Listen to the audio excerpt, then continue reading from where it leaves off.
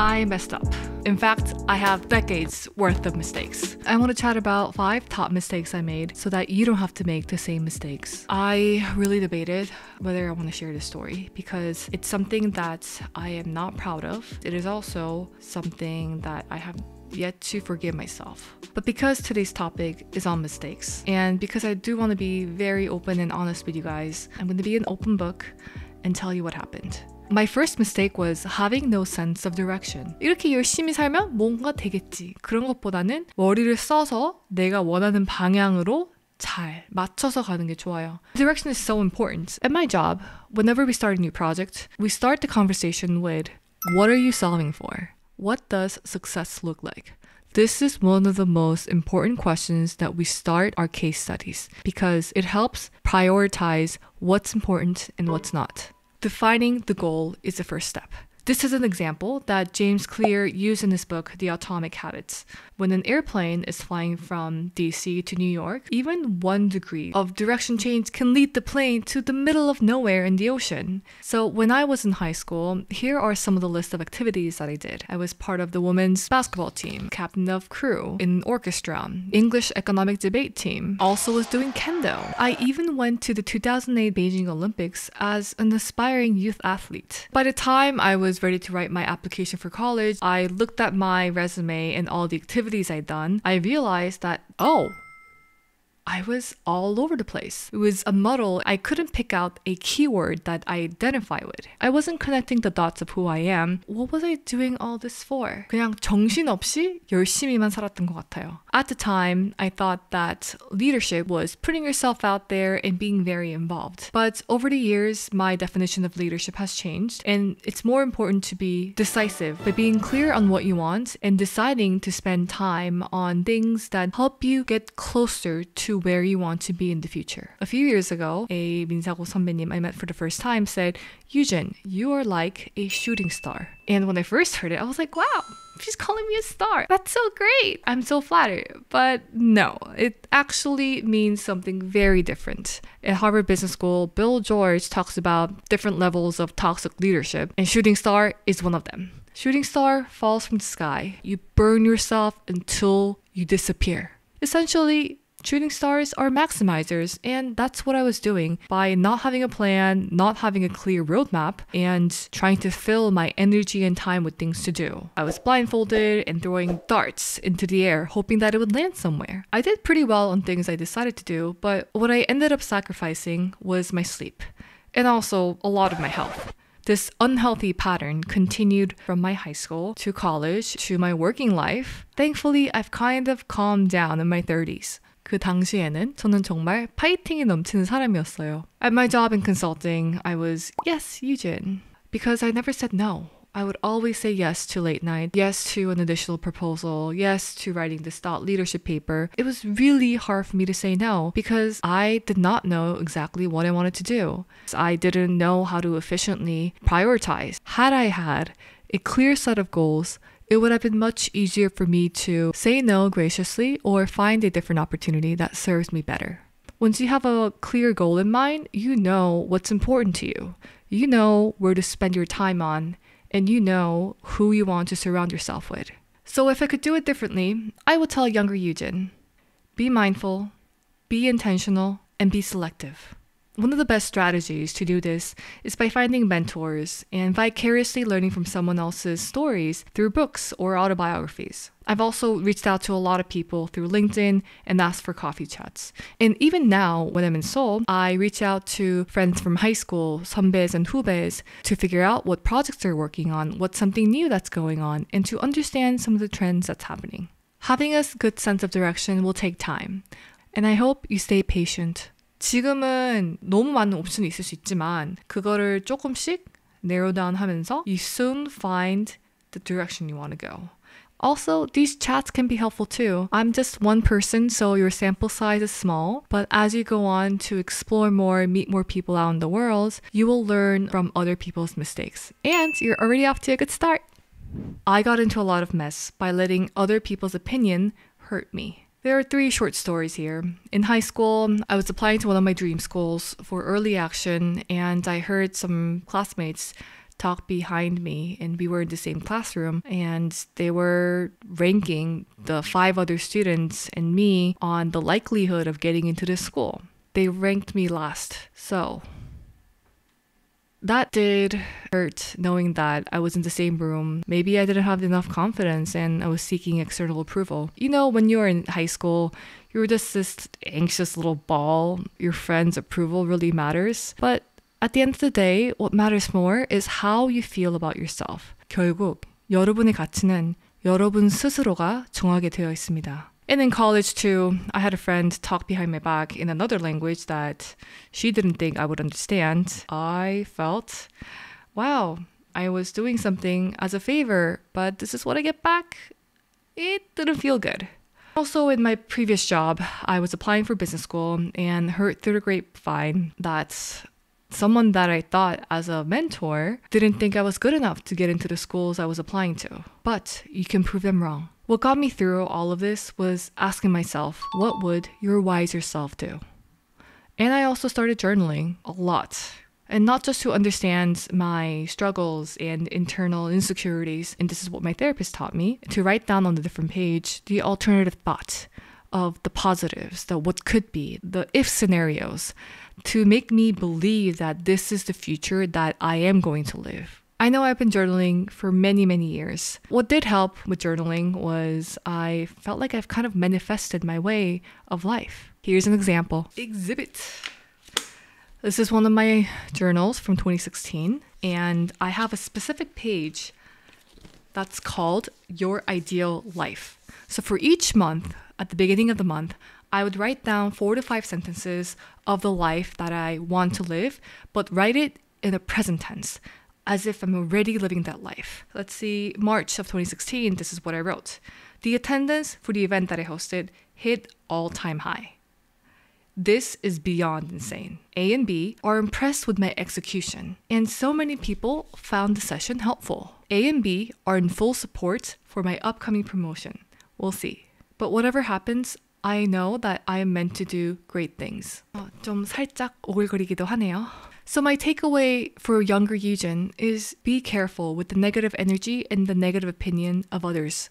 Shoo them away because you are in full control of your life. I also wish that I had valued relationships a lot more because everything in life is based on relationships. Our life is a collection of stories and the stories that we build upon each other, and you really can't do that by yourself. Young Yujin used to think if I'm good enough, if I'm a good person, people will come to me. And this is a very selfish, self centered way of thinking. What I wish I had done more is really put myself out there and invest that energy and time getting to know my hubes and 선배s. Someone recently asked me on a date, who is your best friend? And I said, oh, it's my younger sister. We are very close. And that person looked at me strange and said, oh, isn't that a code word for having no friends? You really have to make the effort to get to know someone. And all relationships, especially friendship, takes time and trust to build. As I think about the depth of relationships I've had, maybe because I was afraid of being vulnerable, I was terrified of getting hurt. I didn't want to be disappointed and feel like someone else is turning on my back. 또 제가 너무 이것저것 많이 하다 보니까 후배들이나 선배들 그리고 친구들을 챙길 시간도 없었던 것 같기도 하고요. But I soon realized that these are small worries in the grand scheme of things. Here are real life examples on how relationships can improve your life. For instance, my dad recently retired, but this year got a new job thanks to his hubei who made the introduction. This was possible because my dad really looked out for a lot of people who were younger than him. And at my job, we do this thing called due diligence calls. Before staffing a team to start a new project, we would list people that I've worked with previously and the other person worked with and exchange them, give each other calls to figure out do I want to work with this person? And it has to be a mutual agreement. Yes, I want to work with Yujin. Yes, I want to work with this person for the project to work out. On a related note, last fall I got a random call from my work phone and the number was a Switzerland number. Oh, people from Swiss doing spam call? I'm gonna take this call and figure out what's going on from Switzerland. Turns out it was a senior partner on the business trip, and he called to ask for my opinion on whether a director that I used to work with is ready to be promoted to partner. And I enthusiastically said yes immediately. But don't you wonder what would have happened if I said otherwise? 근데 제가 만약, 아, 이 사람은 아직 준비가 안 됐어요. 이 사람과 일하는 걸 굉장히 싫어했습니다. 라고 말했으면 어떻게 됐을까요? All these relationships you build over time will naturally translate to your reputation. So protect it at all cost. We are social creatures, and this place is smaller than you think. My matchmaker sent me on a blind date. The conversation was going well. He asked me all of a sudden, 아, 혹시 고등학교 어디 나오셨나요? And I thought, huh, what a weird question to ask. It's been ages since I graduated. I answered, 저는 강원도에 있는 기숙사 학교에 나왔습니다. And he immediately asked, 몇 기세요? Turns out that he was a 7기 선배님. So you never know where you will come across again in life, whether that be through work, through a job introduction, asking for a referral, or even on dates. Previously, I said that people's opinions can hurt you, but people can also heal you. A few months ago, I went back to see my favorite high school teacher, and the place had more meaning because of her. 보통 장소라는 게 그 사람과 그 사람과 쌓은 추억 덕분에 더 의미가 있어집니다. some tactical thing I started doing to make sure I stay in touch with my friend group was on my Google Calendar. I have a separate calendar called B, B for birthdays. Every time I find out about a friend's birthday or a colleague's birthday, I would add it to my calendar so that I have an annual reminder and send them a quick happy birthday note. So I hope you continue to be kind and help others, especially your friends, your hubes, and 선배s. Believe it or not, I hated studying. 저는 공부를 굉장히 싫어했던 학생입니다. Once I got a 70 on the score and thought like, wow, good job me. My mom and I used to joke that C's and D's on report cards stand for Christian Dior. And as proof, I have some journals. So let's look at Exhibit A. This is my journal when I was in third grade. On year 2000, March 7th, Tuesday. 제목, 일기는 누가 만들었을까? 아, 난 여태까지 일기만 써왔다. 그 지겨운 일기를. 점점점점. 난 당장 일기를 만든 분에게 가서 따지고 싶다. 왜 일기를 만들었는지. Here is another example. This is my journal as a fourth grader, and I wrote this journal in English. It is 2002, September 5th, also a Tuesday. Title Study. Learning and studying was the worst thing I've ever done in my whole life. Let me just give you some reasons why I hate studying. But here's another entry I wrote many years later. This is a journal I carried with me from 2014 to 2018. It's five-year journal and I would come back to the same page on the exact date. So, on January 18th, 2016. 나 지금 오피스에서 일기 쓴다. 보통은 심심할 때 쓰긴 하지만 현재 시간은 새벽 1시 18분. I went from complaining that I don't want to write journals to writing journals for fun and continuing that habit. So what changed? Do you remember this video that I posted a few months ago? On top of that, I love to learn. So what changed? I shifted my mindset. 피할 수 없으면 즐기자. And this really started a lot in high school. I felt like I was stuck in the middle of nowhere. All I had to do was study. And if this is what I had to do for a really long period of time, I could maybe turn it into a game and make it a bit more fun. I also shifted my mindset by using the word learning instead of studying. There's a huge difference if you look at the words here too. Do you see that? 자, 배움의 즐거움을 꼭 아셨으면 좋겠어요. And I hope you continue to experience the joy of learning. For instance, my mom, she's turning 60 soon. She's self studying Japanese. She recently passed JLPT. We'll be traveling to Japan together soon. I would love to see her speak Japanese there. While seeing my mom learn a new language, I noticed how focused and lively she was. And she said verbatim, 유진아, 배우니까 시간이 정말 잘 간다. Because she was having so much fun. My dad is an avid reader and he likes to pound in my head, Yujin, you have to read this book, The Upheaval, you have to read this one, Bones, Germs, and Steel. I have yet to read those books. He approaches reading like finding gems, stories that he can share with his friends over lunch in our family group chat to say, oh, this is something new. Isn't that interesting? Both of them had a mindset that it's not studying, but in fact, they are learning. That seems like a very subtle difference, but to me, it meant a lot. Learning never ends. You will be a student for the rest of your life. Your input is going to later translate into your output. And if you think of it that way, I hope learning becomes a lot more interesting. 직장은 실전입니다. 얄짤없고 it's a lot more pressure. Even at work, I see a lot of documents in PDF, sometimes hundreds and thousands of pages. I have to digest them to make sure that I have a synthesis going into a case study. At work, you will get a report card every day. But these report cards are hidden, as in you will not see an actual letter grade. It's more complicated, but people will collect data around how you work, what you did well, and what you didn't do well. One day, you might not be there anymore. And when that happens, what you know, your experiences, and all the things that you have learned will get you to your next stop. It's never too early. Start loving to learn. 피할 수 없으면 즐기고 굉장히 재밌게 즐기세요. Last but not least, 제가 이제 마지막으로 해줄 얘기는 이거를 말을 해야 될지 말지 고민을 좀 많이 했어요. 여러분이 저에 대해서 안 좋은 인식이 생기면 어떡하지 걱정을 했거든요.